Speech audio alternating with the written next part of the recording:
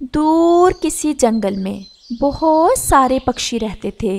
उन दिनों उस जंगल में बहुत ज़्यादा दाना पानी था, इसलिए किसी भी पक्षी को दाने और पानी की कोई चिंता नहीं थी। हर कोई अपनी ही मौज मस्तियों में लगा हुआ था। धूप अच्छी निकली हुई थी। सब पक्षी एक पेड़ पर बैठे हुए थे। वहाँ पर एक कव्वी आ जाती है। नमस्ते पक्षियों, तुम कौन हो? जी, मेरा नाम चिंकी है।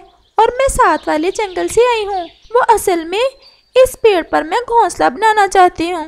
लेकिन हम किसी अजनबी पक्षी को यहाँ रहने नहीं देंगे, क्योंकि मैंने और कबूतर ने अंडे दिए हैं। मैं अजनबी नहीं हूँ। मैं गोरी कव्वी जो इसी जंगल में रहती है, वो ही जिसके पति का नाम कालू है, की सहेली हूँ। हम कैसे मान लें कि तुम गोरी की सहेली हो? मैं अभी गोरी को ले आती हूँ। आप मुझे बता दे कि वो कहाँ से मिलेगी। मैं इस जंगल में पहली बार आई हूँ ना, इसलिए मुझे ठीक से पता नहीं है कि गोरी कहाँ रहती है। वो गोरी कवि तो इस समय अपने घोंसले में ही होगी। वो देखें, सामने जो बड़ा सा पेड़ है ना, उसके पीछे एक छोटा सा पेड़ है। उसी के ऊपर है गोरी और कालू का घोंसला। बल्कि आप ऐसा करें, यहाँ ही रहें। मैं अभी गोरी को लेकर आती हूँ। और रानो चिड़िया गोरी कवि को लेने चली जाती है। गोरी, तुम मेरे साथ चलो। मैं तुम्हें लेने आई हूँ। कहाँ चलो तुम्हारे साथ? मुझे नींद आने ही लगी थी कि तुम आ गई। किसी के घर ठीक समय पर ही जाते हैं। जब दिल किया मुँह उठाकर किसी के घर नहीं चले जाते, और मैं अभी तुम्हारे साथ कहीं भी नहीं जा सकती। एक तो मुझे नींद आ रही है, और दूसरा कालू भी नहीं है घोंसले में। मेरे घोंसले में ढेर सारा भोजन पड़ा है। मैं नहीं चाहती कि कोई मेरा भोजन चुरा कर ले जाए। गोरी, हमारे जंगल में कोई चोर नहीं है सवाए। खामोश क्यों हो गई? कौन चोर है? वो पता नहीं कौन है। गोरी, तुम भी किन बातों को लेकर बैठ गई हो? मैं तो तुम्हें इसलिए लेने आई थी कि कोई कव्वी आई है साथ वाले जंगल से। वो कह रही है कि वो तुम्हारी बचपन की सहेली है। वो तोते और कबूतर वाले पेड़ पर घोंसला बनाना चाहती है, लेकिन तोता नहीं मान रहा, क्योंकि उनके अंडे पड़े हैं घोंसलों में, और वो किसी अजनबी पर विश्वास नहीं कर सकते। नाम क्या है उस कव्वी का? उसका नाम चिंकी है। क्या कहा चिंकी? मेरी चिंकी कहाँ है? मुझे जल्दी से उसके पास ले जाओ। और फिर गोरी कव्वी रानो चिड़िया के साथ चली जाती है। चिंकी चिंकी मेरी प्यारी सहेली, तुम यहाँ कैसे? आज तो मेरे मन की मुराद पूरी हो गई है, जो तुम मुझसे मिलने आ गई। तुम अकेली आई हो, पति नहीं आया तुम्हारा। आप सबने मेरी सहेली की कोई सेवा भी की है कि ऐसे ही बातों में टाइम जाया कर रहे हो। गोरी तुम खुद ही सवाल पे सवाल किए जा रही हो। किसी दूसरे को भी बोलने का मौका दे दो। ये तुम्हारी सहेली घोंसला बनाना चाहती है हमारे पेड़ पर। चिंकी, तुम यहाँ क्यों घोंसला बनाना चाहती हो? अपना जंगल क्यों छोड़ आई? और तुम्हारा पति? गौरी, उस नखट्टू का तो नाम ही ना लो। मेरा विवाह जिस दिन से उससे हुआ था, मैंने तो एक दिन भी सुख में नहीं गुजारा। मैं तुम्हें उसके जुल्म की कौन कौन सी बात बताऊँ?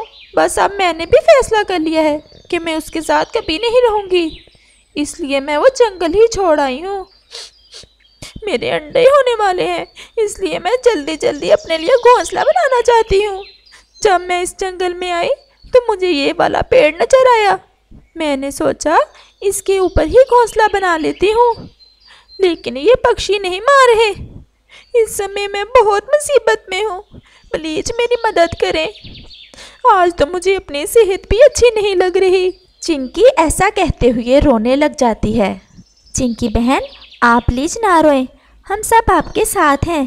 तोते आप प्लीज़ पेड़ पर चिंकी को घोंसला बनाने दें। हाँ हाँ चिंकी तुम बना लो घोंसला। हमारे अंडे भी पड़े हैं घोंसलों में। ये जगह बहुत सुरक्षित है। बल्कि हम सब तुम्हारी मदद करते हैं घोंसला बनाने में। चिंकी मुझे तो तुम्हारा रंग भी पीला पीला लग रहा है। और कमज़ोर भी कितनी ज़्यादा लग रही हो। रानो, तुम तोते और कबूतर को सार लेकर चिंकी के लिए घोंसला बना दो। मैं इसे लेकर तुम्हारे घोंसले में बैठ जाती हूँ और इसका ख्याल रखती हूँ। गोरी हाँ ये ठीक है। तुम ऐसा ही करो। और हाँ मेरे घोंसले में थोड़ा सा फल और दाना पड़ा है। तुम उसे चिंकी को खिला देना। हम जल्दी से घोंसला बना लेते हैं। और फिर रानो चिड़िया घोंसले के लिए सामान लाने के लिए तोते और कबूतर को लेकर चली जाती है और गोरी चिंकी के साथ रानो के घोंसले में चली जाती है। चिंकी, बहुत बड़ी एक्ट्रेस हो तुम। आखिर सहेली किसकी हूँ? अच्छा अब मुझे सच सच बताओ, यहाँ क्यों आई हो तुम? गोरी, वो जो है ना मेरा पति, बहुत खड़ूस है। हर समय मेरे पीछे ही पड़ा रहता है। कि कोई काम वाम किया करूँ, चोरी ना किया करूँ घोंसले की मरम्मत में मेरी मदद करो। मुझसे नहीं होते ऐसे काम, इसलिए मैं उसे ही छोड़ आई हूँ। लेकिन मेरे अंडे भी होने वाले हैं, और मुझे किसी ऐसे सुरक्षित पेड़ की तलाश थी, यहाँ पहले से पक्षियों ने अंडे दिए हों, ताकि मेरे अंडे भी सुरक्षित रहें। जब मैं इस जंगल में आई तो मुझे ये वाला पेड़ नज़र आया। तो मैंने दिल में ठान ली कि घोंसला तो इसी पेड़ पर बनाऊँगी। वैसे गोरी तुम्हारे जंगल के पक्षी है बहुत अच्छे और मासूम। कैसे मेरी बातों में आ गए? तुम्हारी तो वैसे बड़ी मौजें होंगी इस जंगल में। हाँ चिंकी मेरी बड़ी मौजें हैं। अब मुझे इस बात की बहुत ज़्यादा खुशी हो रही है कि तुम आ गई हो इस जंगल में। अब मिलकर बुद्धू बनाया करेंगे इन पक्षियों को। ऐसा कहकर वो दोनों ज़ोर ज़ोर से हंसती हैं। दूसरी तरफ़ रानो चिड़िया, कबूतर और तोता चिंकी के लिए बहुत अच्छा और मज़बूत घोंसला बना देते हैं। चिंकी, हमने तुम्हारा घोंसला बना दिया है। अब तुम अपने घोंसले में जा सकती हो। चिंकी कव्वे तुरंत ही अपने घोंसले में चली जाती ऐसे ही रात हो जाती है और सब पक्षी अपने अपने घोंसलों में सो जाते हैं।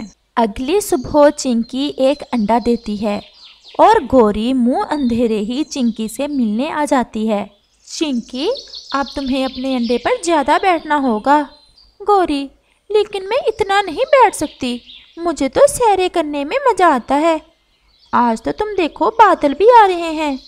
लगता है कि आज बारिश ज़रूर होगी। हम दोनों खूब नहाएँगे बारिश में। ये तोता और कबूतर कहाँ गए हैं? वो दोनों दाने की तलाश में गए हैं।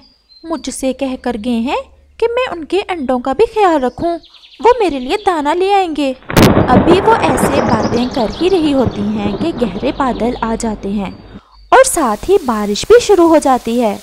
गोरी, मेरी प्यारी सहेली, अब तुम ही बताओ ना, हम क्या करें? इतनी अच्छी बारिश में तो मैं कभी भी घोंसले में नहीं बैठ सकती। अब मैं इस पर कैसे बैठूं? तुम्हारा दिमाग तो बहुत शातर है। प्लीज़ कोई उपाय बताओ ना। उपाय? अच्छा सोचने दो मुझे। हाँ तुम ऐसा करो, अपना अंडा पानी में फेंक दो। गोरी कुछ शर्म करो। ये मैं कैसे कर सकती हूँ? पहले पूरी बात तो सुन लो।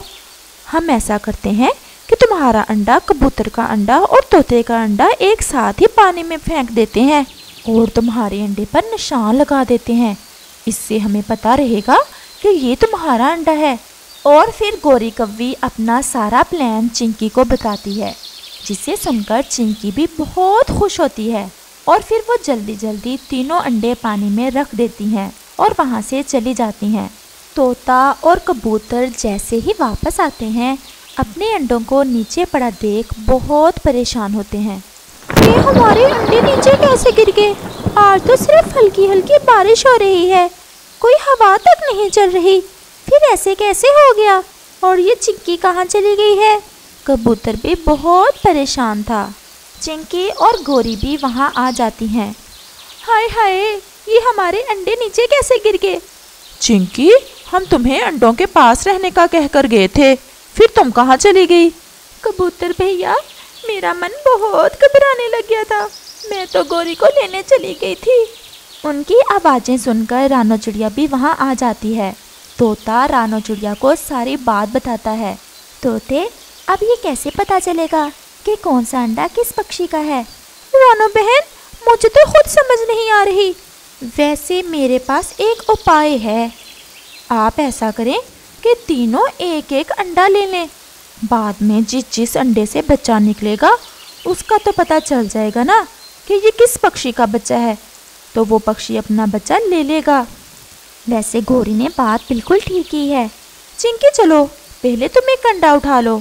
और जब चिंकी अंडों के पास जाती है तो उसे अंडे पर किसी किस्म का निशान दिखाई नहीं देता। वो बहुत परेशान होती है। चिंकी, जल्दी करो, अंडा उठा लो। अंडों का ज़्यादा देर पानी में रहना ठीक नहीं है। फिर चिंकी अंडा उठाकर अपने घोंसले में चली जाती है।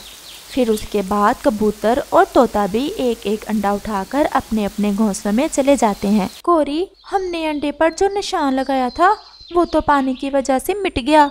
अब कैसे पता चलेगा कि मेरा अंडा कौन सा है? कहीं यही मेरा असली अंडा ना हो। चिंकी, एक तो तुम वहम बहुत करती हो। अंडे तीन थे, और मुझे पूरा विश्वास है ये तुम्हारा अंडा नहीं होगा। अब चलो, थोड़ी सी आवारा गर्दी करके आते हैं। पहले भी इतना अच्छा मौसम का मज़ा हमने अंडों के चक्कर में बर्बाद कर दिया है। गोरी और चिंकी दोनों आवारा गर्दी करने निकल जाती हैं। ऐसे ही कुछ दिन गुजर जाते हैं और एक दिन तोते के अंडे से बच्चा बाहर आता है और तोता बहुत हैरान होता है, क्योंकि वो तोते का ही बच्चा था, जबकि चिंकी ये देख बहुत परेशान हो जाती है। कोरी तोते वाले अंडे से उसी का बच्चा बाहर आया है। कहीं ऐसा तो नहीं है? कबूतर के पास भी उसका अपना ही अंडा हो। मैं तो इस अंडे पर एक दिन भी नहीं बैठी हूँ। चिंकी, तुम ऐसे ही परेशान हो रही हो। मुझे पूरा विश्वास है कि कबूतर के घोंसले में तुम्हारा अंडा ही है। गौरी की बात सुनकर चिंकी को थोड़ा हौसला होता है। अगले रोज कबूतर का अंडा भी फूट जाता है और उसमें से भी कबूतर का बच्चा ही निकलता है। अब तो चिंकी के पसीने छूट गए थे, क्योंकि वो तो एक दिन भी अंडे पर नहीं बैठी थी और उसे पूरा विश्वास था कि उसका अंडा खराब हो गया है। वैसे ये तो प्रकृति का कोई चमत्कार ही हुआ है और मुझे मेरे किए की सजा मिली है और चिंकी कव्वी अपने जंगल वापस चली जाती है। इस कहानी से हमें सीख मिलती है। कि हम चाहे जितनी होशियारी कर ले होता वही है जो प्रकृति चाहती है।